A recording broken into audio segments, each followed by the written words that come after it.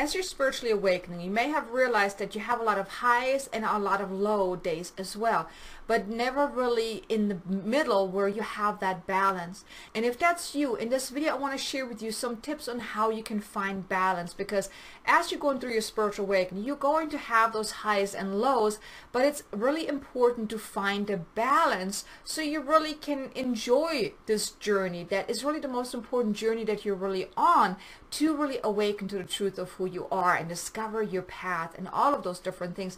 But it's really truly important to find that balance. So if you would like to find out how you can find more balance so you have less highs and lows and more so be more balanced, have more an equal and smooth ride, then stay tuned because in this video I'm going to share some tips with you on how you can do that. Stay tuned. Hello to beautiful soul, welcome back. And if you're new to my channel, welcome to my channel. In case you don't know me, my name is Kay Sanders, I'm a divine messenger and celestial healer here to assist awakening souls on their spiritual awakening journey so they can really awaken more gracefully without all the overwhelm and frustration so they can really step into their power, awaken to their power within and really create the life and abundance, success and freedom that they desire all while making a bigger impact in the world without being bugged down by their spiritual awakening. So if that's you, I want to invite you, please be sure to subscribe to my channel and also hit the notification bell so you can get notified whenever I release new content every Tuesday and every Thursday. So you may have already had those days where you felt really amazing. So where you're really absolutely on top of the world, you're feeling so great, everything flows, you're manifesting like crazy, everything's just so easy. But then you also have those days where you come out of this high vibe and you feel like you're having like a little uh, somewhat of a crash landing where you just totally hit rock bottom and nothing works. You feel like you're stuck in the mud. Everything's so heavy, so frustrating. Nothing works the way you want it to work and you're just wondering why. You just, all you want is going back to that high vibe where everything is just so much better. You, everything is just so much easier. But instead of moving back into that, you're actually feeling more frustrated because you can't seem to get back into that, which then actually moves you more into resistance. Does it kind of sound familiar to you? Do you have those times when you're really absolutely top of the world, everything is just so amazing, and you have those days where you really just hit rock bottom? Now, being on your spiritual awakening journey, unfortunately, that can be part of it, and especially if you're an empath and highly sensitive soul, for us, it's really even more challenging to find that balance because if we don't know how to protect ourselves, if we don't have those practices to really find that balance, it can be truly like an up and down, and up and down. Nothing like, you know, like a smooth riding, maybe with a, some ups and downs, like small ups and downs, but no, it's like really like massively up, massively down. If you're experiencing that, that really just means that you haven't found the middle line yet. Because it can be easier for you to go through the spiritual awakening, to go about your path, to go about your life without having these massive ups and downs. Because quite frankly, I mean, it can leave you quite uh, overwhelmed and frustrated if you don't know how to best handle it, how to best embrace your journey without really being so affected by all that comes with your spiritual awakening. So that's why I feel you were guided to this video because maybe you do want to find out how can you find that balance, which I'm about to share with you, so you can really embrace this journey because it's really about embracing your spiritual awakening. That's when you really get to experience these really amazing things and these really amazing experiences. But of course, you know, it's about having the right practices to find the balance the first thing that I want to point out is go with the flow. When you feel like you need to rest, do so. When you feel like you want to do something, do that. It's really about listening within and going with the flow. It's not about figuring stuff out or making stuff happen and doing a whole lot. Sometimes you need that time to just go within, to really go with the flow, go with what feels right. Because when you try to make stuff happen, you're actually moving into resistance because everything happens in divine timing. You cannot force anything to happen. Now you can take those aligned steps, those soul aligned, soul inspired actions, but it's about being in the flow of things because you've probably realized whenever you're in a high vibe, you're in the flow. Things go smoothly. It feels like you're swimming with the stream rather than against it. But when you are moving into resistance, when you're going into this whole I gotta do, do, do, do, do, or I gotta figure this out, I gotta make stuff happen, then you're moving into resistance because that is ego trying to tell you you gotta do more to whatever, right? That you have to do this, that this is the right thing to do. But if it doesn't feel right, you're actually moving in resistance. So the more you can go with the flow and really listen to your body and listen to what does your body need? What do you feel called to do right now? And really just go with the flow. That's the number one thing is to find that balance because the more you go into resistance and then doing well then you're causing friction. And that's when you create those ups and downs because when you're in the flow you're up. When you're moving resistance you're down. So that's why you want to really go with the flow to be more in balance so you don't get knocked off course whenever you move into resistance right because then you can also become aware more when you are in resistance. Which brings me to the next one is know when you are frustrated. Become aware when things don't feel right. When things feel like you're kind of about to walk through mud again. When you don't feel right. When something doesn't feel okay. Usually our feelings is a good indicator of that something is not right. Because if one moment you're feeling great and all of a sudden you're feeling not okay, maybe you feel a little constricted or whatnot, not good in your skin, that's a good way for you to then, it's a good indicator for you to then to tune in to find out, well, what's going on here? What am I feeling here? Am I in resistance or what's going on? Now, when you are feeling that, that could also mean that, well, it could mean two things. When you're not, when you're feeling not okay, it could mean that you are in resistance and that gives you the opportunity to investigate more to find out why are you resisting it what's going on what are the fears behind it or it could simply mean that you are in growing pains where you are moving into a territory that you're not quite familiar with and it's just that that should i really? I mean you know i want to but i, I you know i'm just going a little slower. So there are going to be growing pains as you're awakening because you are growing into a new way of being. It's think of it like that. When you buy brand new shoes, they're not going to feel as comfortable as the shoes you have been wearing for years, right? So it's going to be a time where you have to get used to the sh new shoe. It's the same thing with as you are ascending, as you're awakening. Anytime you're leveling up into that, moving into that next stage of your awakening, there are going to be growing pains. But really knowing that when you're not okay and I'm really assessing what's going on here, am I just in resistance or are you working through something like really going through those growing pains? That's the second thing is really becoming aware of that. Then the third one is have daily practices of cleansing grounding raising your vibration even meditation you know to really be in the here and now. Especially as you are you know developing your empathic gifts more as you're becoming more sensitive it is even more so important that you do a cleansing uh, practice to really cleanse your energy, to cut cords, to pull yourself back from wherever you left yourself. I did a video about that, about, you know, empath survival tips. Like I actually have a playlist for empath as well. So if you want to check that out and see what feels in alignment with you, what you want to learn about. But having those daily practices is really, really important. Even a grounding practice to really ground yourself in the here and now will help you then also be less, you know, be less on this emotional roller coaster of ups and downs. So it's really being grounded in here and now is really, really important as well. So having those daily practices can help you find more of a balance because it's when we are very uh, bugged down by all these energies, by what's going on, that that's what's causing inner turmoil, that inner interference, and even the resistance and the, the friction, which then causes that massive, you know, rock bottom kind of experience that also pushes you out of your alignment. So that's why those daily practices, the daily practice is all about keeping you in alignment, keeping you centered, keeping you in connected with your soul. And then from there, you can really be in the flow of doing things what feels right to you. So having those daily practices really, really empower, really, really powerful and very, very important as well.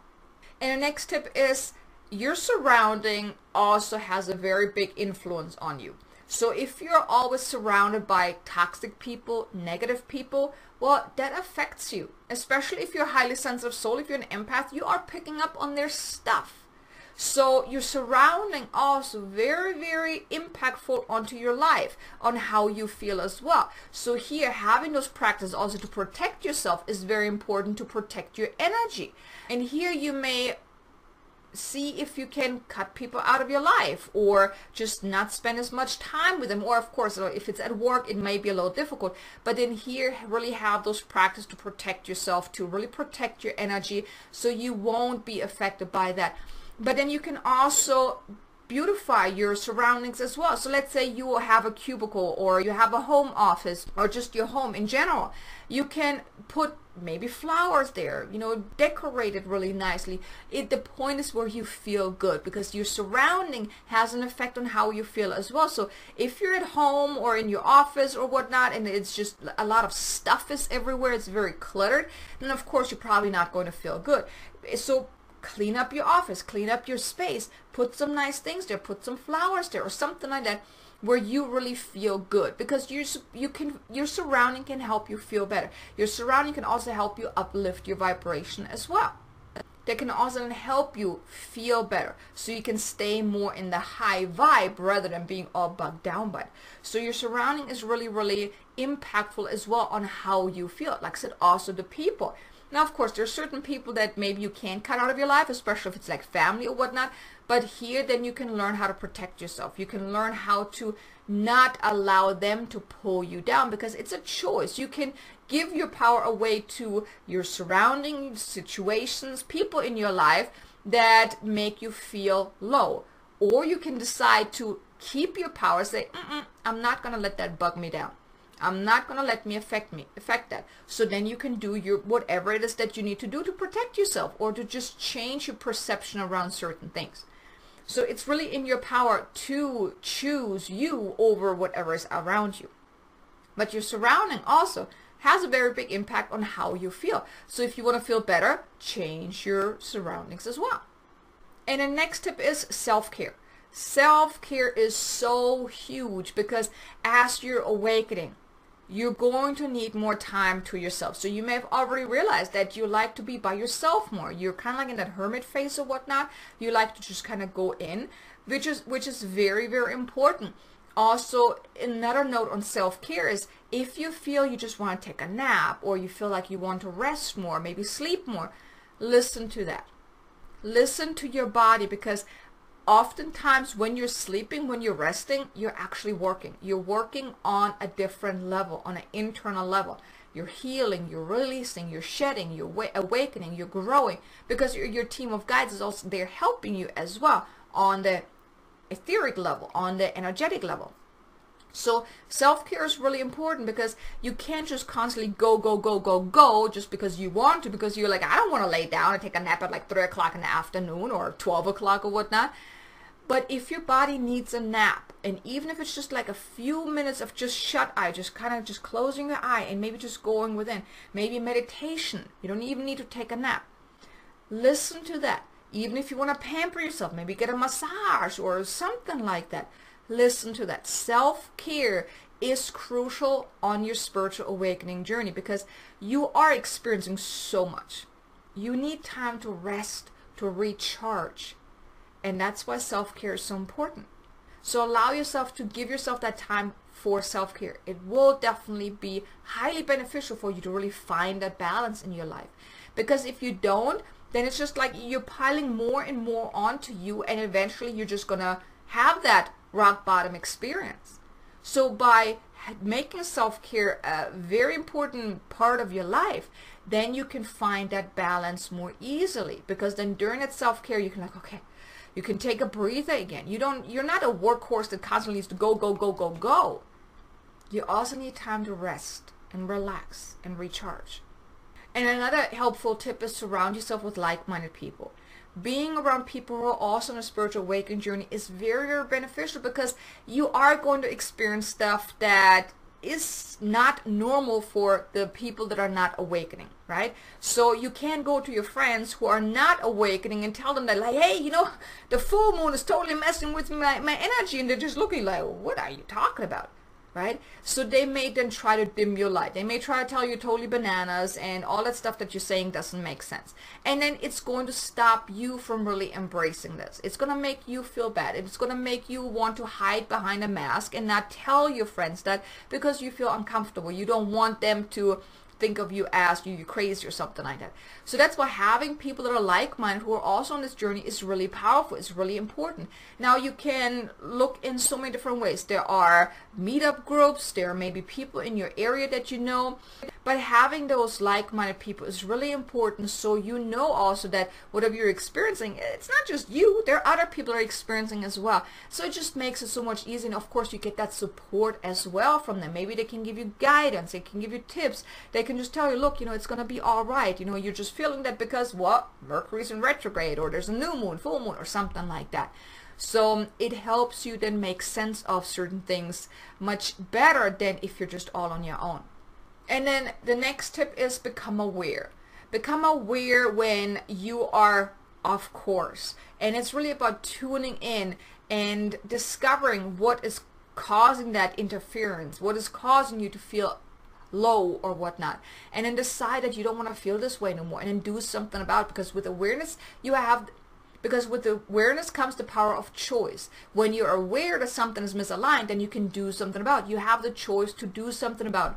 whether it is maybe taking more time to, for self-care or maybe meditate maybe working with a healer or maybe finding those like-minded people or you know uncovering your limiting beliefs or doing something to help you shift because then you can of course correct. Because it is within your power to be in high vib- vibration more often to be in that balance. It's beca- by becoming aware when you're not when something is off and then doing something about it to shift your vibration to that higher level. Maybe not all the way up because it, we don't always want to be all the way up here because then we may have that crash link. So it's about finding that balance, that being in between, because you can be in a high vibe without being too high and then not having that, that crash landing afterwards. So finding that balance is really important. And then the last and final tip is be patient and be gentle with yourself. You will awaken in the speed that you are ready to awaken. You can't force it. You can't resist it well, I mean, you can resist it, but that only makes it even more painful. It's meant to unfold. You are meant to awaken no matter what. Your soul decided at one point in your life it's going to be the time when you are meant to awaken.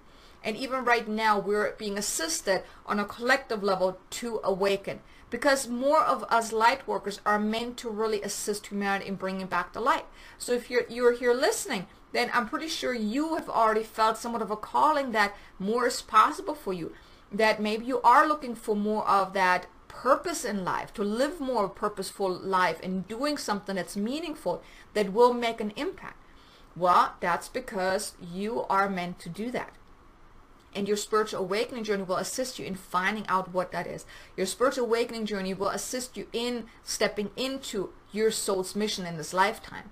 But there is divine timing at play as well. Next, it you can't force it. It happens as fast as you are ready to. Because you may say, well, heck, I want to awaken. I finally want to be there. But you see, the thing is, you're simply not ready to be there yet.